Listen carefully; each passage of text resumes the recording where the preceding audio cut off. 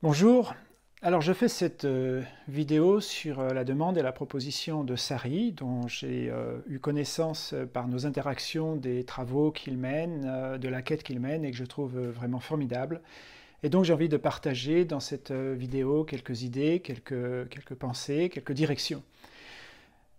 Je tiens d'abord à préciser ma posture. Je ne veux pas venir en tant que sachant, euh, quelqu'un qui vit en métropole. Je n'ai jamais eu l'occasion ni le plaisir d'aller en Nouvelle-Calédonie. J'espère que j'aurai bien entendu l'occasion de le faire euh, un jour, mais ça, euh, l'avenir le démontrera, le dira.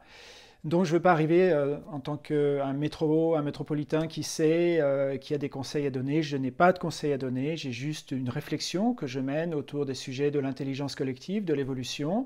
Et puis à vous de voir et de, de, décider ce qui vous semble juste, ce qui vous semble adapté et valide évidemment par rapport au contexte que vous connaissez. Alors pour me présenter, ça fait plus de 20 ans que je fais de la recherche dans un domaine nouveau qui s'appelle l'intelligence collective. Ça veut dire qu'il vise à comprendre comment les systèmes vivants fonctionnent, les systèmes vivants humains et non humains. Donc euh, en fait il n'y a pas de vie sans intelligence collective.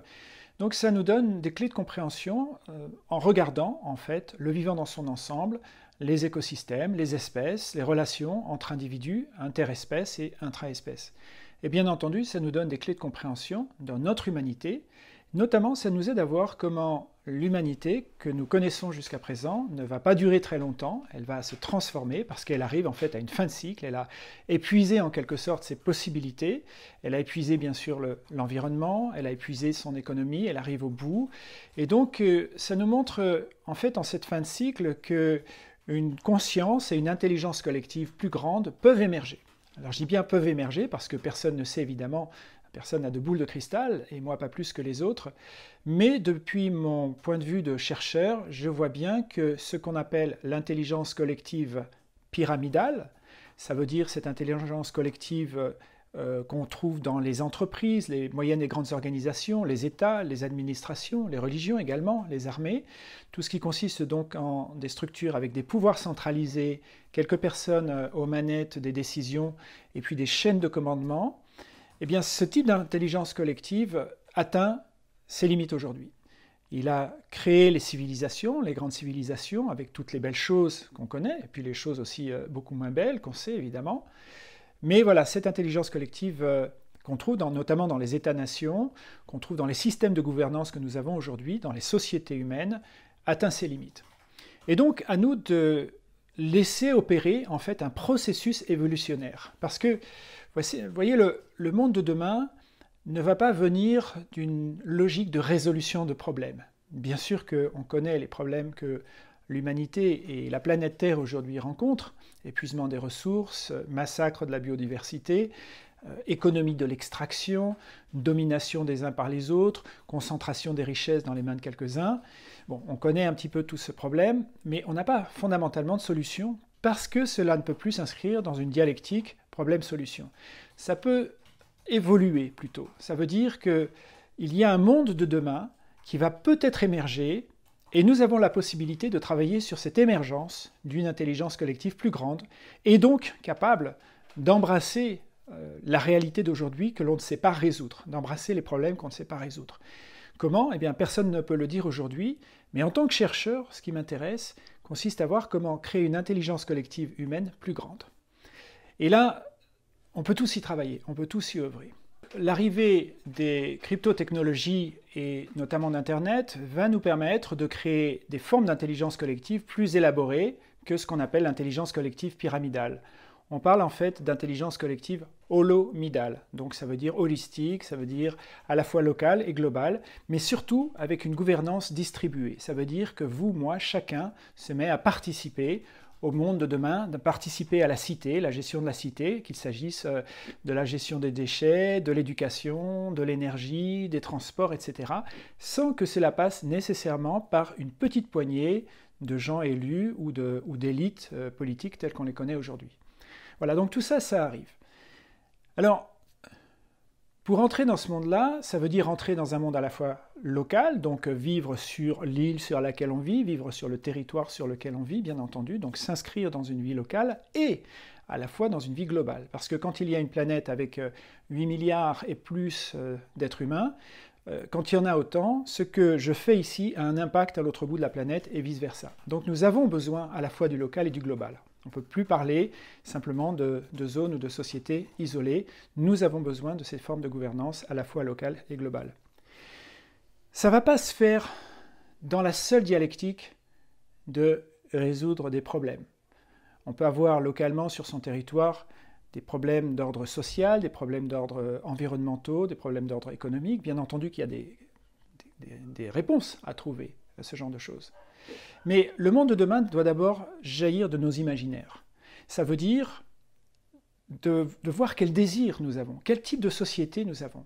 On a plus la facilité de dire ce dont nous ne voulons plus. On ne veut plus éventuellement, je sais pas, du, du néolibéralisme sauvage, on ne veut plus de la pollution sauvage, on ne veut plus de l'extraction sauvage, on ne veut plus de l'exploitation des uns par les autres, etc. Bien entendu, mais ça ne dit pas pour autant ce que l'on veut. Et donc il y a un vrai chemin sur l'imaginaire, ça veut dire qu'il va libérer notre capacité évolutionnaire. Si je sais où je veux aller, à ce moment-là, je sais comment évoluer. Je sais ce que cela va me demander. Je sais ce que cela va me demander à la fois à l'intérieur de moi-même, dans ce qu'il y a à changer, et je sais ce que cela va me demander ou nous demander à l'extérieur, ça veut dire quelles infrastructures il faut créer, comment par exemple faire évoluer euh, des systèmes monétaires pour passer de l'argent rare, donc de l'argent qui domine le monde et qui stimule et attise et encourage une économie de l'extraction, comment passer de ça à ce qu'on appelle des monnaies suffisantes, ou bien ce qu'on appelle aussi de l'économie intégrale, donc qui intègre le vivant, qui intègre les lois du vivant, qui intègre les lois de la thermodynamique, hein, de l'énergie dans les systèmes vivants. Ce que ne fait pas euh, l'économie actuellement. Donc il y a cette, cette, réflexion à mener, et plus qu'une réflexion, il y a un acte de création. Et là, donc, je vous invite, j'invite tout le monde en fait, à aller dans notre espace artistique, parce que l'art, ça ne se limite pas à faire des tableaux ou à écrire des poèmes. En fait, l'art, ça veut dire que nous faisons monde, nous inventons des mondes, nous inventons des possibles. Ce possible, on va l'exprimer à travers un roman, un narratif, on va l'exprimer à travers une peinture, on va l'exprimer à travers une danse, on va l'exprimer à travers un poème ou un discours politique, peu importe ensuite l'œuvre, mais il y a d'abord le fait de désirer le monde, hein, le monde que nous voulons, le monde dont nous avons envie, de le visualiser. Et à partir de ça, ça va ensuite nous donner un cahier des charges.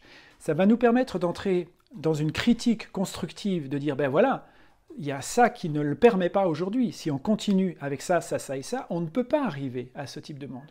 Donc on va d'une part déconstruire ce qui ne va pas, ou faire le constat de ce qui ne peut pas marcher, et ensuite nous retrousser les manches pour nous dire, bon, eh bien si par exemple nous voulons une économie intégrative qui intègre tous les êtres vivants et pas simplement euh, les êtres humains dans une relation d'extraction au monde ou de domination au monde, on ne peut plus le faire avec l'argent.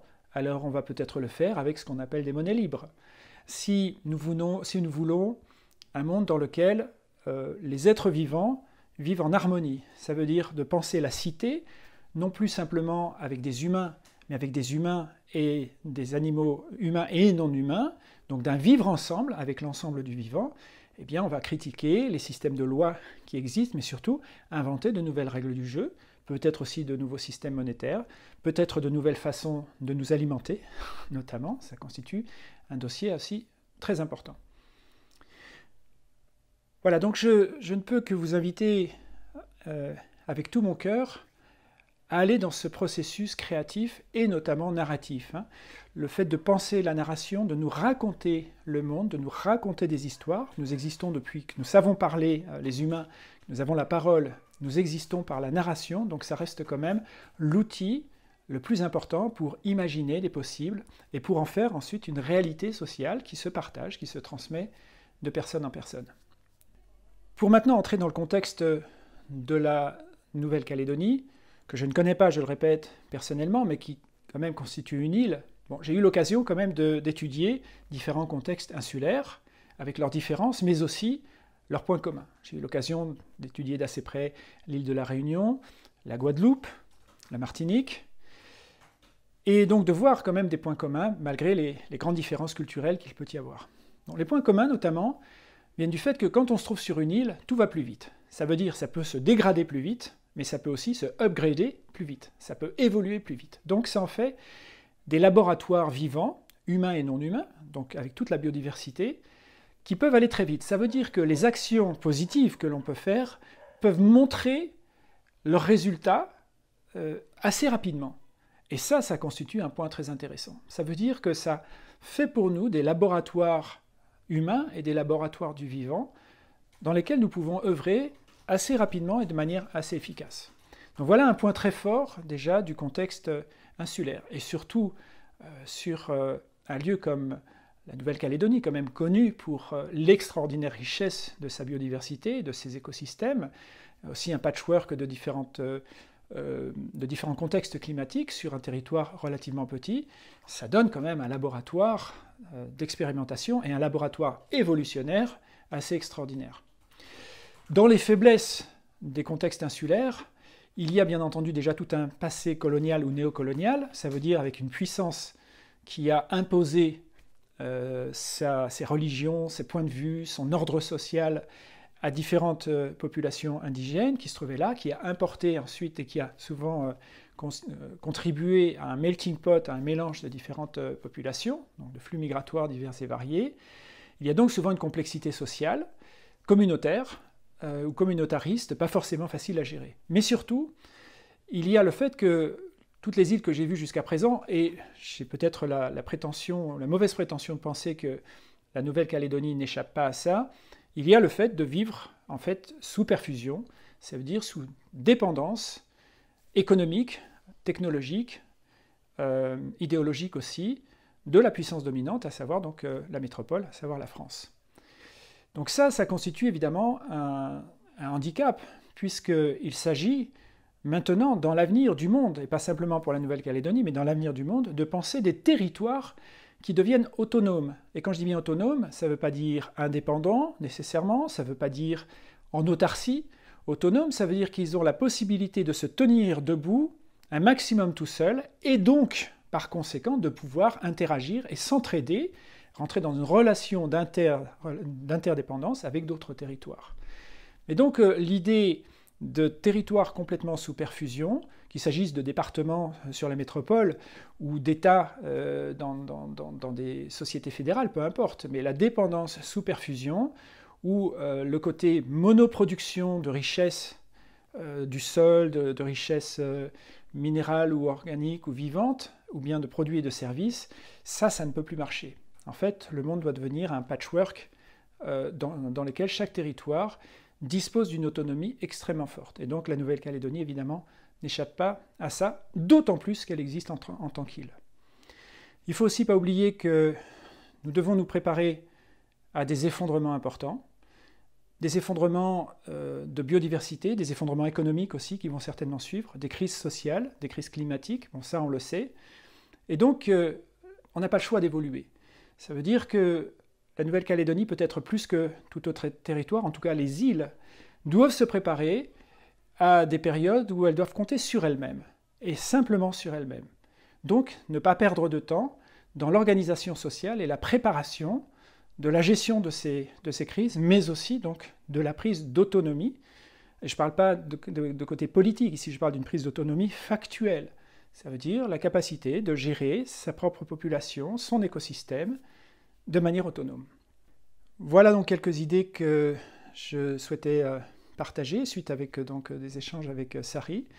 Et je vous souhaite bien entendu une belle exploration ensemble.